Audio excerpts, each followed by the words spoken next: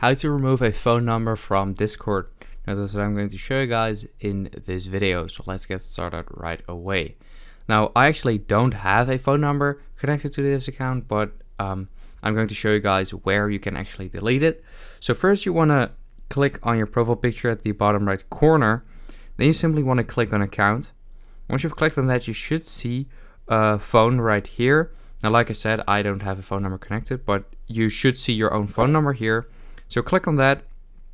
And instead of having to add a phone number here, you should probably see remove phone number uh, in red text. And if you click on that, uh, you just have to fill in your password.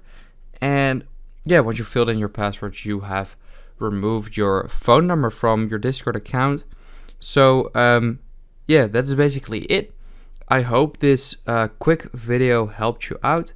Please leave a like and let me know in the comments if it worked. I'll see you next time. Have a good day.